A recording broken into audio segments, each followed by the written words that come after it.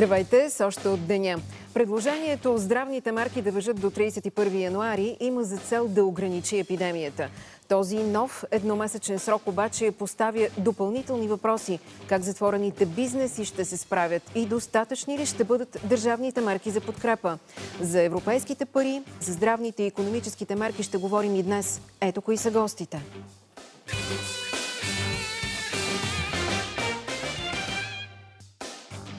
Съдебна система и съдебна реформа. Как отговаряме на критиките от Европа? Гост в студиото правосъдният министр Десислава Ахладова. И още бизнесът и здравните мерки. Каква е реакцията на работодателите? Коментар на Васил Велев от Асоциацията на индустриалния капитал. При нас вече е правосъдният министр Десислава Хладова. Здравейте и добре дошла в нашото студио, госпожа Хладова. Групата за наблюдение на демокрацията и върховенството на закона в Европарламент трябваше да ви изслуша утре, но изслушването се отложи заради липса на преводач. Въпреки това, какво се бяхте приготвили да споделите и да допълните към онова заседание на 28 август, когато а, депутатите не бяха доволни и не им беше достатъчно това, което им казахте? На първо място, наистина, в утрешния ден трябваше да се проведе срещата с представителите на подкомисия Либе. Тя е отложена по обективни причини за 8 януари. Голяма част от въпросите, които поставиха, депутатите трябваше да има още разяснения, написахме съответно отговори и в момента те искат да ни изслушат относно независимостта на медиите, относно разследването на главния прокурор, относно уязвимите групи от населението, по-специално ромите и всички тези въпроси, които ги интересуват и при първоначалното изслушване. Нека да ви задам някои от тези въпроси. Вероятно те в някаква степен ще се припокрият с това, което щяхте днес да говорите, утре да говорите. Обвързването на върховенството на закона и получаване на европейски средства е посочено и от опозицията у нас като аргумент в полза на това, че ще получим санкции отвън, защото думата и аргументите на опозицията тук вътре не се чуват от управляващите. На България всъщност се е случвало да бъдат спрани еврофондовете. Това не би било прецедент, ако се случи в бъдеще.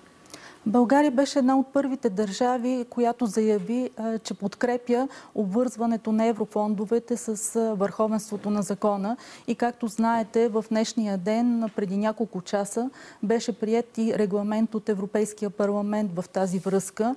Този регламент много ясно казва, че в случаите, когато има проблеми с върховенството на правото, с върховенството на закона в някои от държавите членки, ще се наложи ограничение ограничаване или спиране на еврофондовете. И ние подкрепихме това предложение. Днес наистина, както казахте, Европарламента гласува този текст. Той влиза в сила от 1 януари. Видя ми се важно нещо в него.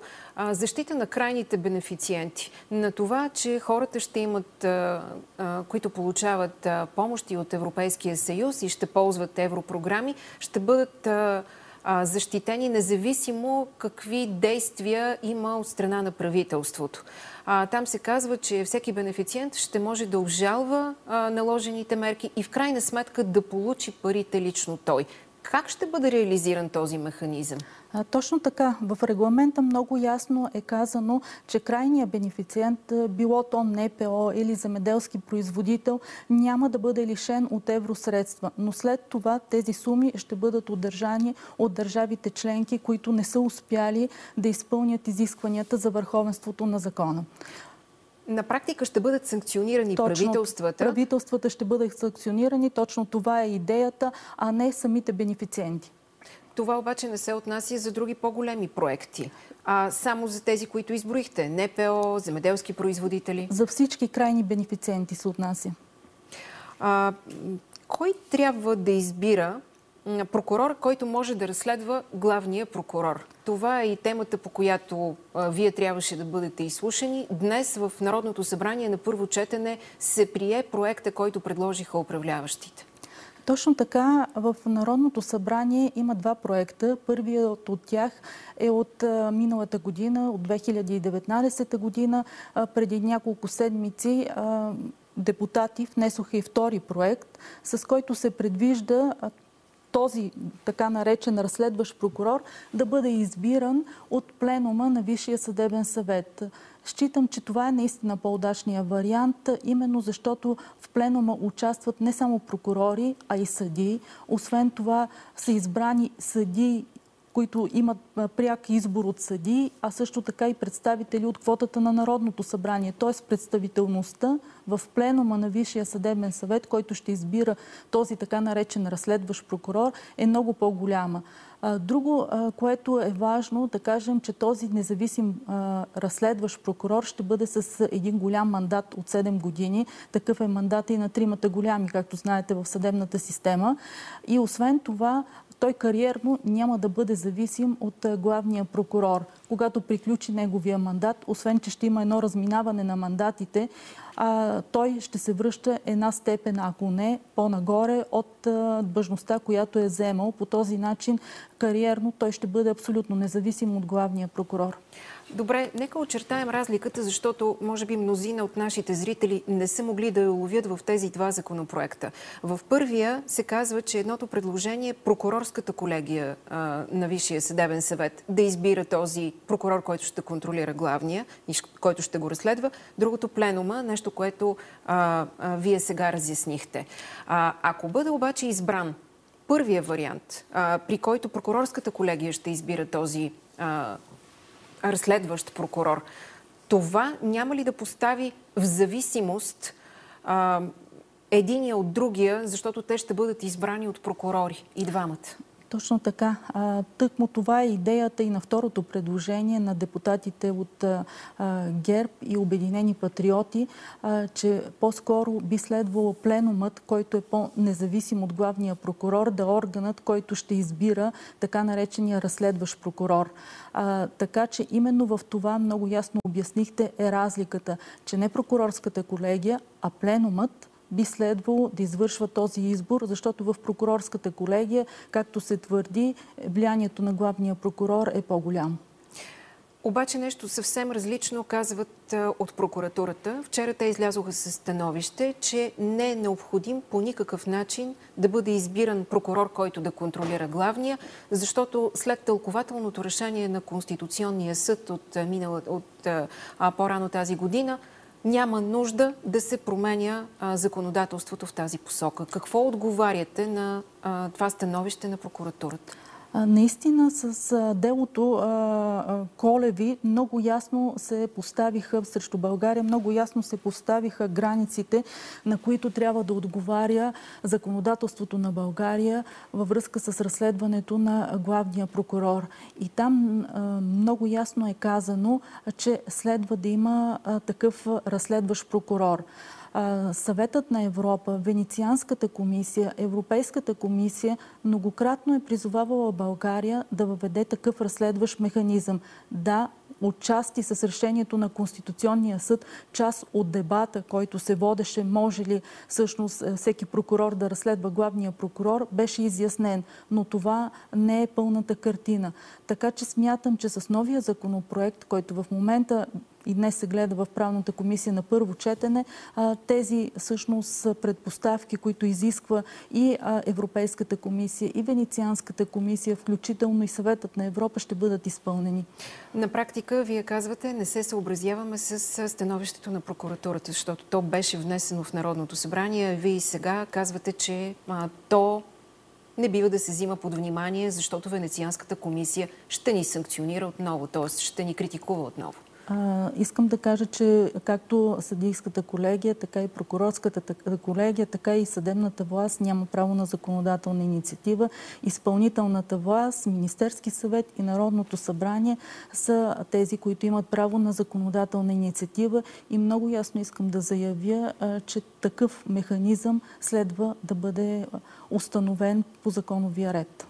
От опозицията обаче казват нещо друго. БСП казва, защо пък всеки прокурор да не може да разследва главния прокурор и съдът да е този, който да е арбитър, когато това не може да стане. Ами вижте, в момента в предложението на депутатите шестима члена от прокурорската колегия биха могли да правят предложения за, разслед... за предлагане на така нареченият разследващ прокурор би могло и всеки прокурор, според мен, ако се възприеме тази идея, също да разследва главния прокурор. Но самите съдии нямат право по Конституция на право да разследват, така че трябва да имаме предвид, че това по търтипа на делегираните прокурори трябва да бъде един действащ прокурор. Съдя, аз съм била и съдя 18 години, по Конституция няма право да разследва прокурор, а пък това число и главния прокурор. Има още много различни мнения по този въпрос, но се притеснявам, че разговорът ни става много специализиран за а, зрителите, които трудно се ориентират в тази сложна материя. Затова ви предлагам да минем нататък. Вчера вие започнахте една проверка, разпоредихте проверка за това, защо съдът е позволил на затвор... не е позволил на затворник да присъства на погребението на собствената си майка, въпреки че Тоест, съдът разрешава, а затворническите власти а, ограничават а, това разрешение. Защо се стига до тази колизия между съдебно решение и административен акт? Вижте, много отдавна съществува спор между ГДО, между Главна дирекция изпълнение на наказанията и МВР, кой е компетентен. А, с оглед това прецених и с оглед анализа, който направи нашата дирекция, която се занимава с а, права на човека, че би следвало много ясно да бъдат разписани в правилата за конвойна дейност или както реши съответно работната група, която създадох вчера с заповед моя, да прецени по какъв начин ясно и точно да бъдат регламентирани случаите, в които следва да се конвоира, кой може да го осъществява, докъде може да го осъществява и съответно да се вземе предвид и делото на ВЦВ срещу България, което всъщност е в основата и на съдебното решение. Така че мисля, че това е проблем, който до месец ще бъде разрешен. Така е, но никой не може да върне този изключителен момент в човешкия живот, когато един а, човек, независимо дали е в затвора или не, изпраща свой близък роднина. Ако се окаже обаче, че има а, някой не си е свършил работата или си е превишил правомощията, ще наложите ли наказания? Разбира се, разпоредила съм а, две проверки в главна дирекция изпълнение на наказанието, в главна дирекция охрана, включително и инспектората по закона за администрацията. Инспектората по 46 ще извърши такава проверка и ако има виновни, те ще бъдат наказани. Госпожа Хладова, понеже наближават изборите и много се коментира идеята за това дали да бъде променено за законодателството в посока да се гласува два дни, да се гласува по почтата, да се промени режима на гласуване заради COVID-ограниченията и COVID-мерките.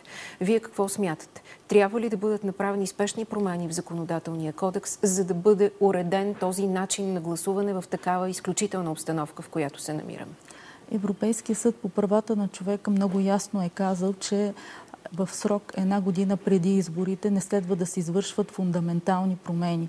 Аз се опасявам, че три месеца преди изборите или да речем малко повече, зависи президентът кога ще насрочи с указ а, изборите, е твърде кратък период и няма да има достатъчно време за подготовка, ако се правят изменения в изборния кодекс и това би могло да доведе и до осъждане на България. Тоест, Централната избирателна комисия трябва да определи реда в нейни ръце ли остава само провеждането на изборите, Точно независимо така. те в, при какви ограничения ще се проведат. А кога трябва да бъдат изборите според вас? Ами вижте, това трябва много внимателно да се прецени. Първо, считам, че трябва да има консултации с политическите партии. Разбира се, правомощие на президента е да прави или да не прави такива консултации. И на второ място, ние сме в една много странна ситуация в условията на пандемия. Трябва да се има и това предвид и трябва да се осигури безопасност на провеждане на изборите, така че би следвало да се съобрази и този момент и да се прецени, било то с щаба, било то с съответно с правителството да се говори какви ще бъдат мерките и кой е най-подходящия период за провеждане на изборите. Така че, но правомощие на как президента представ... е да го... Как си ги представяте, госпожо Ахладова, тези консултации при положение, че президента свали доверие от правителството и е толкова критичен към вас? Вижте, аз мятам, че във всеки един случай трябва да има диалог. Диалога е нещо много полезно и не считам, че изострените отношения биха били от полза за която и да е страна. В този момент, в който сме в една безпредседентна криза и в пандемия в световен мащаб, мисля, че институциите трябва да разговарят помежду си, а не да се конфронтират. Ами добре, аз ви благодаря за този разговор в нашия ефир. Правосъдният министр Десислава Ахладова, останете с нас. Ето как продължаваме.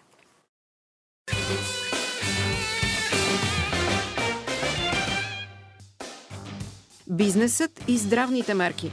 Каква е реакцията на работодателите? Коментар на Васил Велев от Асоциацията на индустриалния капитал.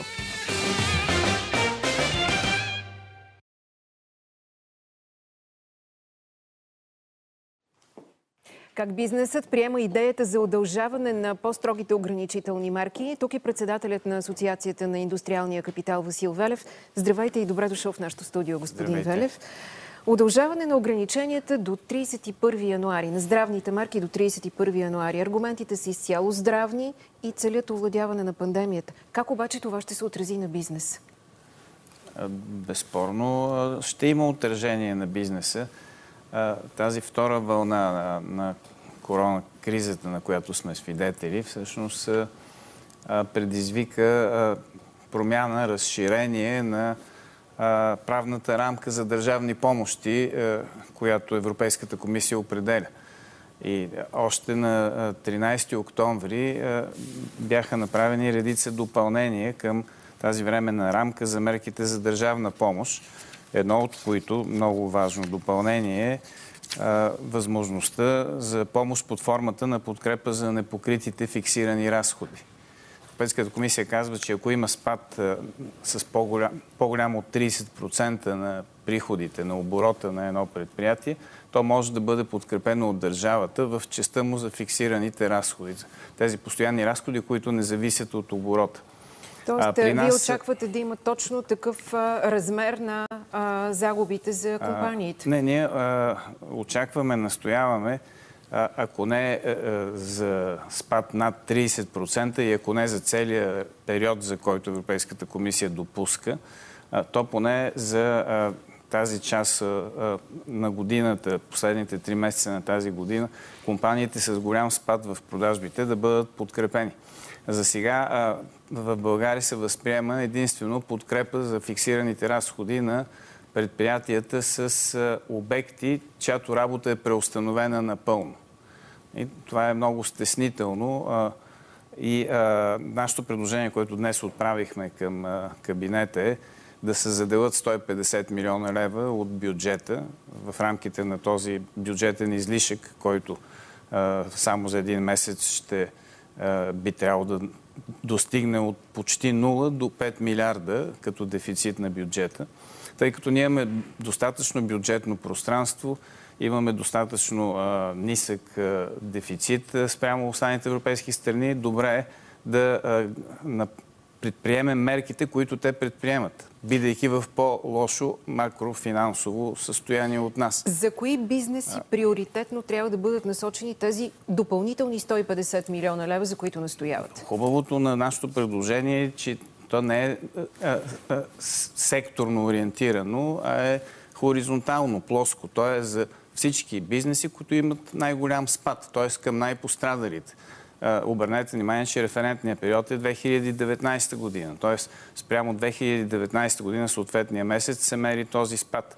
Т.е. едни компании, които са били в добро здраве и са пострадали в резултат на коронавируса и причинената криза, много от тях са в по-тежко състояние от компании с затворени обекти, защото може да имате магазин в мол и пет магазина извън мол. И, и самото предприятие, което има тези пет магазина, да е пострадало много по-малко от, примерно, една авиокомпания, която има срив на продажбите 80%. А, същото въжи и за много туристически, свързани с туризма обекти в търговият. Малки магазинчета за сувенири, например. Няма туристи, няма продажби. Те формално не са затворени, но са в по-тежко състояние причинено от коронавируса, от кризата, отколкото тези, за които днес се реши да бъдат подкрепени с пари от програма Иновации и конкурентоспособност. За тях се отделят средства. Смятате ли, че тези а, 150 милиона лева, над 150 милиона лева, които днес бяха, беше решено да бъдат отпуснати, няма да достигнат до бизнесите, за които вие говорите? Категорично няма да достигнат. Те Правилата ще... са различни, а, така ли? За там правоимащи говорим. са само тези, които попадат в обхвата на заповедта на министра на здравеопазването, които имат затворени обекти а не се гледа какъв е да. спада в оборотите, спада ами, в продажбите. Нека да кажем, това сигурно е авиационния бизнес. Е това са сигурно а, а, туристическите компании. Това са сигурно големи вериги магазини, за които вие говорите, които не работят. Може би навсякъде. Това са и някои услуги. А, това е допълващо предложение. То не е альтернативно на взетото днес решение.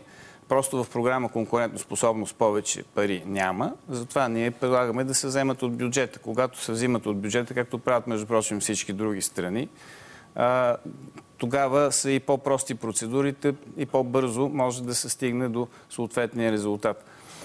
Ние как изчислихме сумата? Ами с тези 156 за затворените обекти, плюс тези 150, които ние предлагаме, сумарно се получава едно число, което е пропорционално на това, което правят другите страни, преизчислено през брутния вътрешен продукт. Точно това ще да ви попитам. Ако тези 150 милиона лева се окажат малко, а, как ще бъдат подпомогнати тези, които малко по-късно, примерно, ще си подадат документите, ако бъде решено?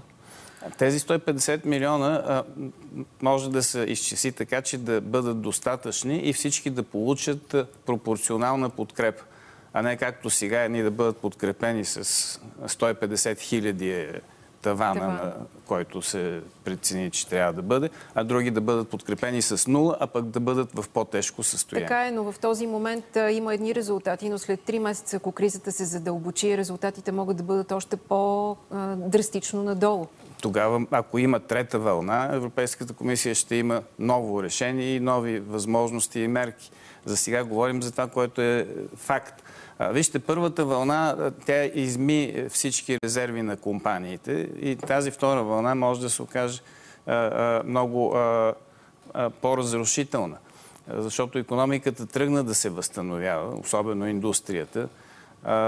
Но за октомври месец имаме ново връщане надолу и тази тенденция може да се окаже наистина много разрушителна. За тази втора вълна, всъщност, мерките, които се предприемат, трябваше да в сферата на здравеопазването и ограничаването съответно на контактите и затварянето на бизнеси, трябваше едновременно с тях да бъдат обявени мерки в подкрепа на економиката. Сега стана с малко закъснение, което е добре, е, че не е голямо закъснението, но а, те пак са а, палиативни. Те не, не, не обхващат а, хоризонтално всички пострадали бизнеси.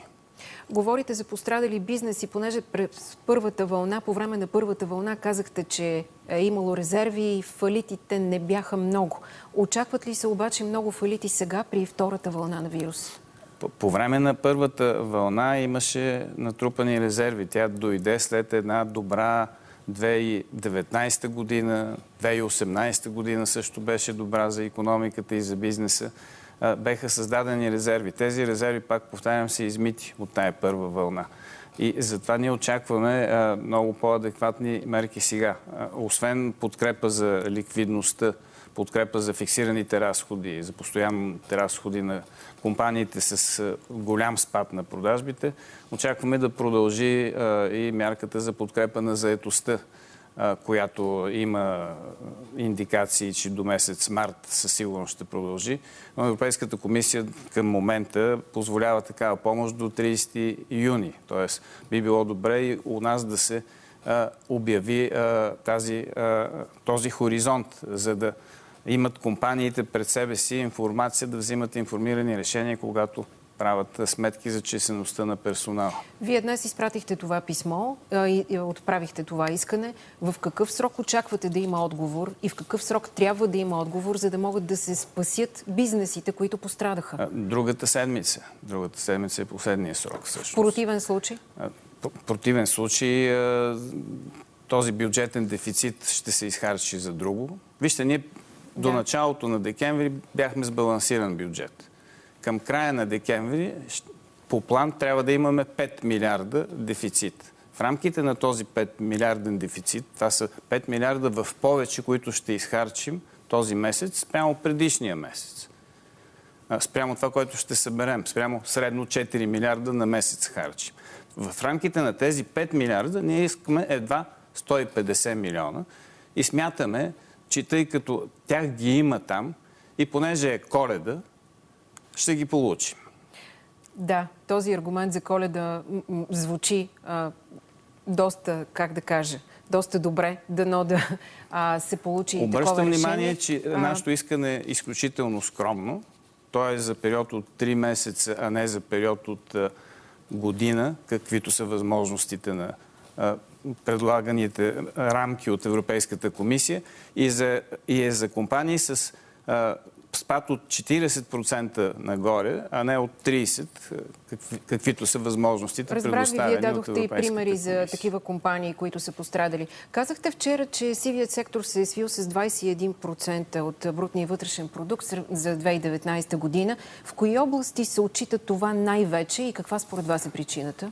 А, а, сивия сектор а, е 21%, не се е Да. свил с 21%. Над 21. А той продължава да се свива и се сви до 21%, 21%, и малко. А, като а, това е една трайна тенденция последните 10 години, както мерим този индекс. А, продължава да бъде неприемливо висок този процент, въпреки че от, както го мерим от 2010 година, това са 15% пункта свиване на сивия сектор. Тогава беше 36, сега е 21. И тази тенденция очакваме да продължи, като пазара на труда имаме най-масово прилагане на сиви практики, които, за съжаление, някои решения, действия дават сигнали в посока на увеличаване на тези практики. Отново COVID ще... обаче изсветли малко а, пазара на труда, защото работодателите, за да вземат тази помощ 60-40, някак си се Така е, тя, тя, е спрямо, тя е да- спрямо официално отчетените Да. обороти, продажби, тя е спрямо а, осигурителни а, доход, а, който е официален. Така че а, то, то, тя, а, тези COVID мерки награждават изрядните и наказват а, тези, които укриват а, осигуровки, данъци, доходи. А, но не така стои въпроса, примерно с не, несъразмерно, непропорционално увеличаване на, на пенсиите.